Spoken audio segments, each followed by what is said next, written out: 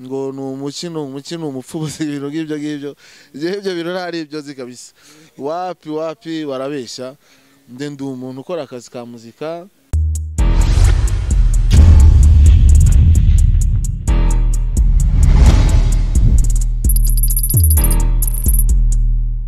Hari amakuru yagiye avugwa yuko ushobora kuba waratandukanye n'umudamu wawe mwabyaranye ndetse mwanasezeranye mukemeranya kubana akaramata ibyo byaba ari byo cyangwa uko twabyumvishe byari bihuha Ah, ibyo bintu rero iyo ni private life ariko nta bintu birenze. Njyewe eh, njyewe ndi umubyeyi ariko ntago njyewe mbana n'umugore wanjye. Mm, official eh, babimenye. Ntago mbana n'umugore wanjye no. Mwaratandukanye si cyangwa ni izindi mpamvu ni ukubera ubushake bwanyu? Icyo nyine ni ikinyarwanda mbasubije ntabwo ari cya kindi cy'imihanda ntago mbana nawe. Njye ndibana. Ubwo wenda urahita ubyumva nyine. Eh, mwari mufitanye umwana uwo mwana abana nawe cyangwa abana na nyina? Oya dufitanye abana babiri babana na mama wabo. Mm, babana na mama wabo ariko turabonana nanjye. Impamvu mbivuze ni ukugira ngo batazajya bakomeza babimbaza cyane kuko nuko nsohoye indirimbo nkayizana icyo kibazo kiragaruka. Rero ndagisubije ntibazongere kubimbazaho cyane. Yabo Ah, wenda tuvuye kuri icyo kibazo nanone hari ikindi gisa nkaho gishamikiyeho nanone nahita nkubaza. Hari amakuru yavuzwe hari umumama twigeze kukubona uri kumwe nawe mwagiye mugaragarana mu bitaramo byinshi bitandukanye. Ni umumama wari uvuye ku mugabane w'i Burayi ni umumama ubona yuko akuze. Biravugwa yuko yaba ari we watumye utandukana n'umudamu wawe ndetse bikavugwa yuko hari n'inzu yari yarakurihiye wabagamo ah, hanze y'umujyi wa Kigali. Ibyo bintu na byo sinzi wenda ayo makuru niba ariyo cyangwa se niba na byo twarabyumvishe bikaba ari ibihuha. Ni rumors. Urabona iyo uri umusitari abantu benshi bakuvugaho ibintu byinshi. Ushobora kumbona nambaye iri koti ukabona n'uriya aryamye ukavuga ati ririya koti siko yaritiye uriya we agahita ahimba ikintu ako kanya. Uriya mumama ni umuntu ni umubyeyi. Ntabwo navuga ngo njyewe mwita umubyeyi wanjye kubera yuko usanzwe yitwa yitwa Coco Eiffel. Ni umubyeyi afite abana n'abana be n'inshuti zanjye n'umuryango we n'inshuti yanjye. Bakunze indirimbo yanjye yitwa diaspora kuko baba hanze. Ni iyo ndirimbo rero ituma abana be nabo bayikunze bituma bamfasha.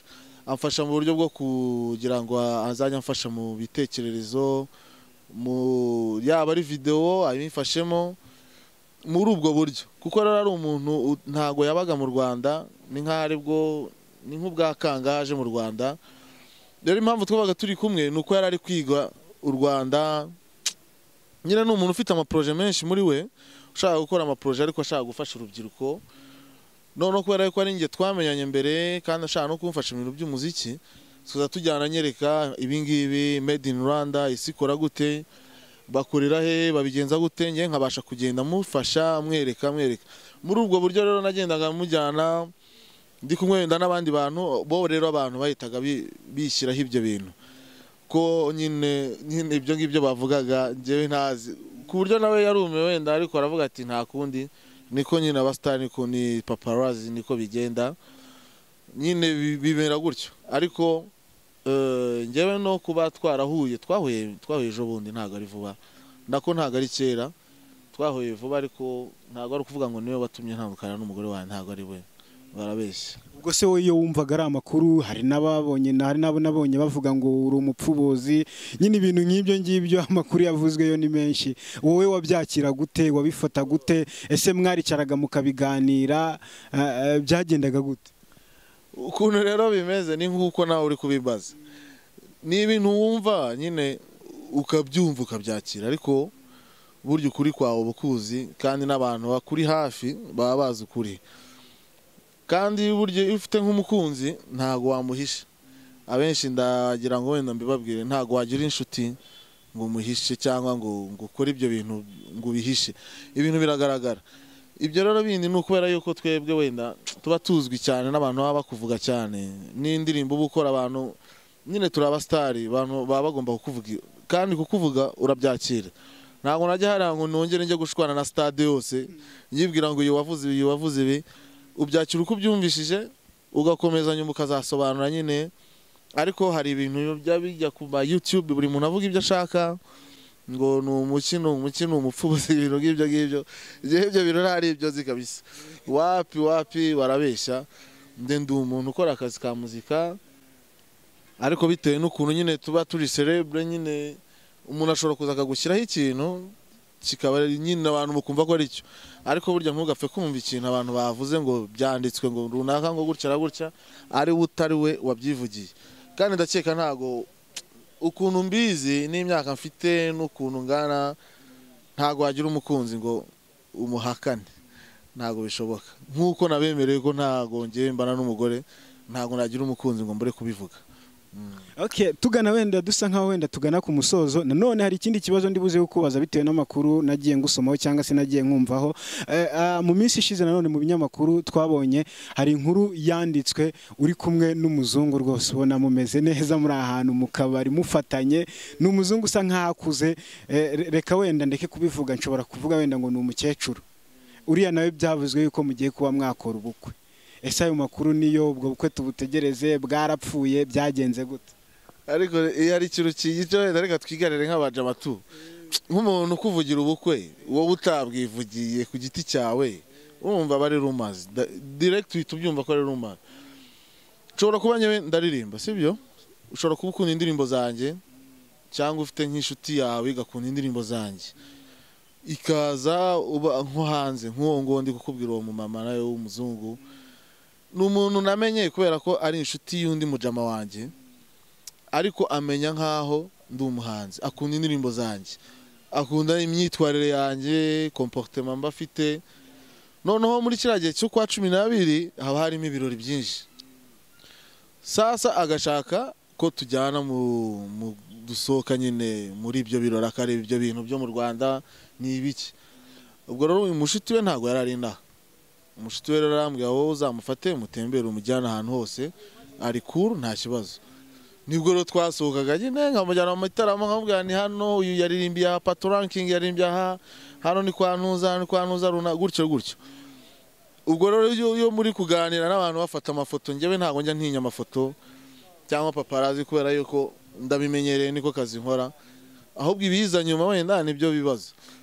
Urumva nk'umuntu wavuze ubukwe atari igihe wabuvuze urumva ni rumazi ntabwo aba ari byo ni umushuti usanzwe ngewe ko nyine turi abaririmbyi. Ugira abashuti benshi abava hanze abo mu rwanda abahehe abasa nk'amarabi za mayibobo abakozi bo mu rugo abahehe bose baraguhamagara. Kandi ikintu cya mbere ngewe nkora ku giti cyanjye ni ukubamanaginga mu buryo bwo kubavugisha neza mu cyubahiro. Naho ibindi byo bagenda bashyiraho ntabwo ari byo. Buriya mafoto twabonye ariko buriya nabonye musa nkaho muri gusomana. Buriya ntabwo byari byo cyangwa wenda ni umufotogarafe wayafotoye wabigize kuriya. Uze kureba neza iyo foto bayimbamurikire neza bayizuminge ntabwo ari bizu ahubwo nari mwegereye yarambajije ngo iriya ndirimbo ni patorankingi yari ari kuririmba indirimbo. Ari kumbaza nyine ngo kubera ko harimo urusaku? Iyi uyu ninde ko abantu bishimye? Ndamwegera ndi kumwongorera ubwo ni bwo yafashe ifoto. Bahita bavuga rero ngo namusomye. Uze kuyizuminga neza uyirebe iyo foto ndumva nimba ihari sinzi sinzi n'umuntu wayishyize hanze ariko ntabwo ari byo barabeshya. Okay, ubu ngubu uvuze yuko watandukanye n'umudamu mutakibana kandi uko bigaragara uracyari umusore w'umujene ndetse by'umwihariko buriya umusore nkawe eh, ushobora kuba wanakenera n'umuntu mwabana ukitwa umugabo nawe akitwa umugore mubana mu rugo. Eh, ibyo bintu urabiteganya niba ubiteganya urateganya kubikora ryari cyangwa se wenda urateganya kuzasubirana mama w'abana bawe mwabyaranye abana babiri? Ibyo bintu nk'uko naba- nababwiye yuko mfite umugore nkabatumira no mu bukwe ni nako nzongera nkabatumira nanone nkababwira nti bimeze gutya bimeze gutya. Ubwo ariko kino gihe bimeze uko nguko nyine. Uko nabikubwiye ni uko ariko ntabyo nteganya ngewe no ntabyo nteganya. Mfite indirimbo iri hanze imaze ukwezi n'igice iri hanze yitwa pose na videwo yayo. N'ayo madansi uri kuvuga arimo kuko tara burya ntabwo ijya igenda umuntu arasaza ariko tara ye ikagumamo. Akaba rero ndi gutegura albumu albumu launch yanjye izaba mu kwa cumi n'abiri eh, ya albumu yitwa diaspora. Eh, gusa ntabwo ndamenya ta- itariki ariko izaba muri uko kwezi. Nkaba rero nyuma y'icyunamo nanone kuko tugiye kagiye kuzicyunamo tuzifatanya n'abanyarwanda twese.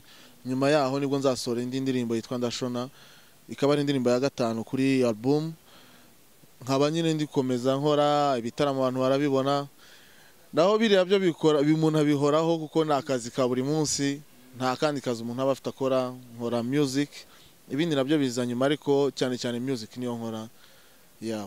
iyo ugereranyije umuziki wawe wakoraga kera ah, ugisohora indirimbo ya mbere ukareba n'umuziki wawe w'ubu ngubu ubona byifashe bite Eh, mbere kubera ko byari bitaraba binini cyane media yari itaraba nini cyane wabaga usanzwe wenda ugasora nk'indirimbo ugasanga yakunzwe nka ruhengeri gusa kigali batarayimenya igisenyi wenda bayimenye.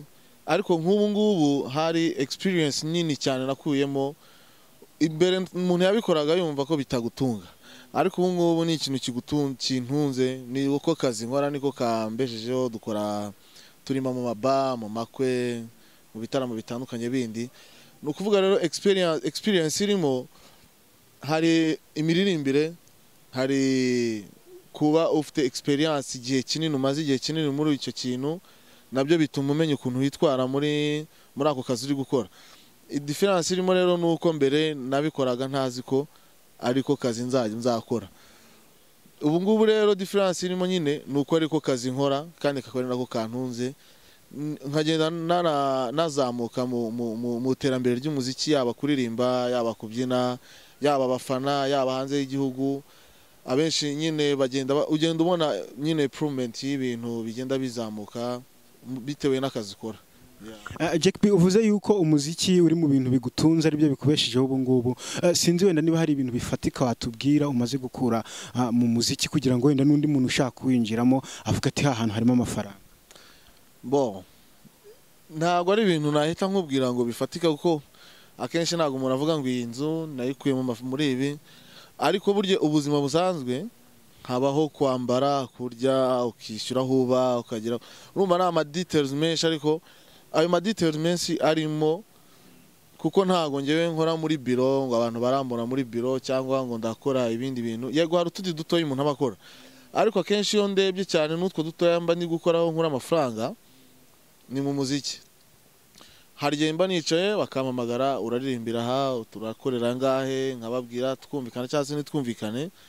Ariko ibyo bintu mbikoze hafi imyaka igera muri icumi Eh, kuko nyewe natangiye music yanjye 2006 2006 ni bwo nashyize hanze indirimbo. Ubwo rero urumva kuva 2006 narakomeje.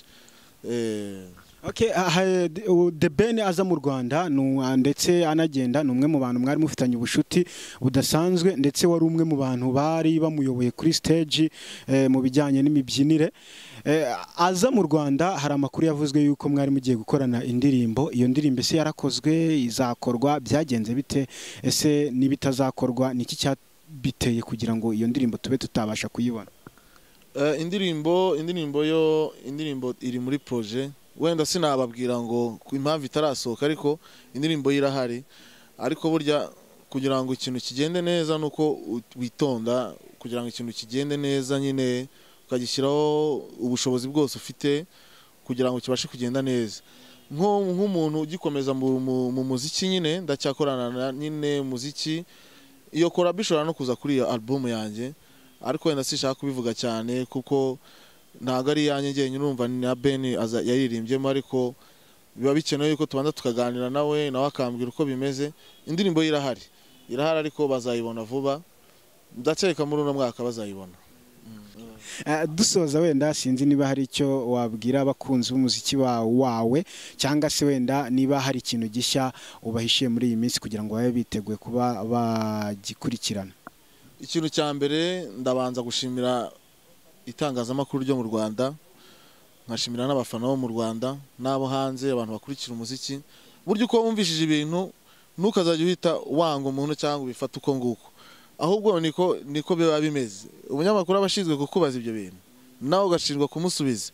Sasa ibyo mbasubije rero ugasanga uko bimeze ni uko nguko. Ugomba kubyakira gutyo ntibizatume wanga umuhanzi wawe ngo ubure gukanda like ku ndirimbo ye kubera ibyo bintu. Ibyo wenda arabisobanura bikaza niba ari life ubuzima busanzwe. Icyo ni cyo nashaka gusobanura. Ikindi mfite indirimbo nshyashya igiye kujya hanze yitwa ndashona.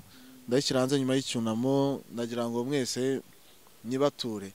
Ni indirimbo nziza irimo danse zanjye nziza harimo danse nahimbye harimo amadanse menshi. Ikindi nkaba mbibutsa yuko mfite album launch mu kwezi kwa cumi n'abiri iyo ya diaspora akaba ari ubwo nzayironshinga nyine nkayishyira hanze ku mugaragaro. Ikindi ndabakunda imana ibahe umugisha. Urakoze cyane. Eh, murakoze cyane.